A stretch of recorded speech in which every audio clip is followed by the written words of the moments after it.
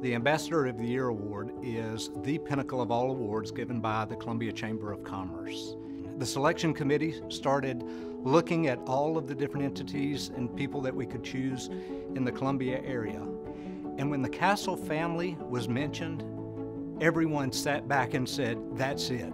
It was such a natural selection. We're so fortunate to have a company like Southeastern Freight Lines here in the Midlands.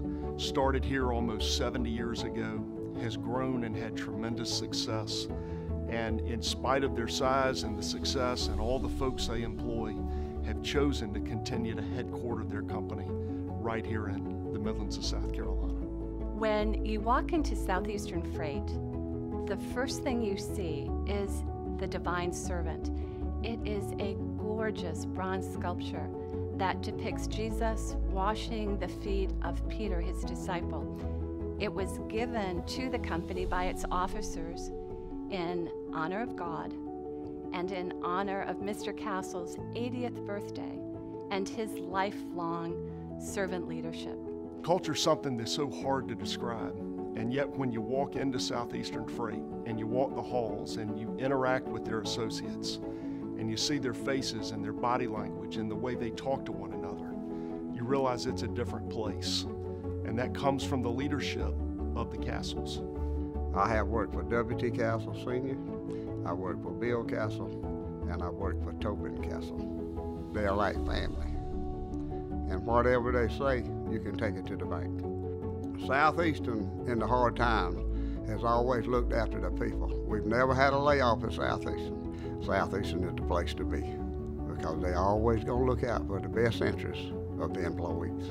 When I think of the Cassels family, I, I think of the, the first word that comes to my mind is character. Uh, they are people of deep integrity. They're people of deep commitment. They're people of faith. Uh, they're people of sacrifice. Uh, I think of the word character. So one of the biggest things Tobin's taught me is perspective, um, particularly from a Christian worldview. Candidly, he, that's something that he espouses very uh, openly, and the balance between working at, serving in a family business, but also loving and serving your family um, that the Lord has given particularly to you. The way He balances that, and the we play tennis together. If Pat Cassels calls while we are on the tennis court, he's going to answer that call. And getting to watch that has been a huge blessing to me just in terms of how I value different things in life. Well, most people, when they think of the Cassels family, they think of Southeastern Freight Lines. But in their set of priorities, Southeastern Freight Lines is not the number one priority in their lives. I would say the business is the fourth priority in their life. Number three is serving the community. But they do it uh, under the radar, but they're very strategic and very, very impactful in what they do. The second priority is their family.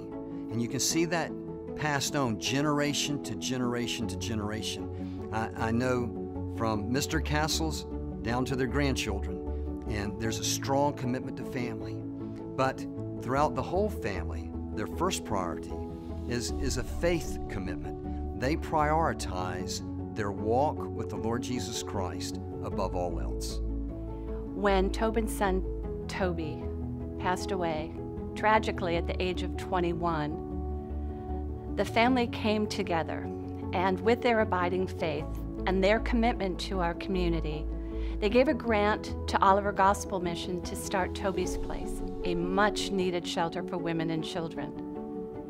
Their commitment to our community has created out of tragedy a long lasting legacy, not only for Toby, but a long lasting legacy of opportunity for the women and children in our region. Not only have Bill and Tobin and the entire Cassels family served this community, they instill a culture among the associates of Southeastern Freight Lines to do the same thing. The associates at Southeastern Freight serve in many capacities in this community. They do many volunteer activities that benefit many organizations throughout the Columbia area. Tonight's a huge honor for the Cassels but they are dreading every moment of it because they do not like to be the center of attention. For example, Tobin and I spent months going through the process of getting Mr. Cassels the Order of the Palmetto, the highest award for a civilian in our state. We had it all done. There's one last check that needed to be done, and that was by the governor's office, and that was to see if he had ever received it before. But Tobin knew his dad had never received the Order of the Palmetto previously. Turns out that he had back in 1978, and Mr. Cassels is so humble that he didn't even tell his own family. Tobin has no idea where the Order of the Palmetto is. So I'd say to the Cassels, thank you. Thank you for who you are and how you live your life. Thank you for the way you treat your employees. Thank you for what you do for our community with substantial gifts and great generosity that make Columbia and the Midlands a better place to live. It was my privilege to have worked for the Cassels. I appreciate the opportunity and the kindness that they showed me all through the years.